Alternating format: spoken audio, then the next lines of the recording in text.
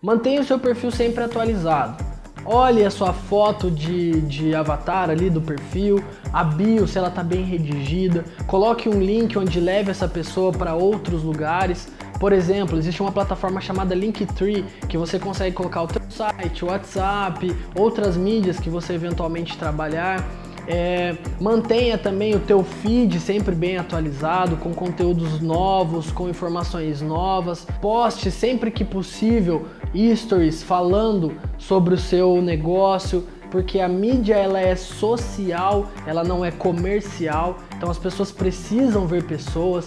Procure criar histórias dentro do teu, dos teus stories ali, é, dia a dia, bastidores, é, trazer informações diferentes dentro de cada uma dos, dos, das plataformas, seja Reels, é, Feed, IGTV e os stories. Tente trabalhar toda. Isso eu tô falando de Instagram, mas se aplica às outras mídias também Tente usar todos os recursos de dentro da, da mídia que você pretende trabalhar e eu garanto para você que você vai conseguir alcançar lugares ainda maiores dentro da internet.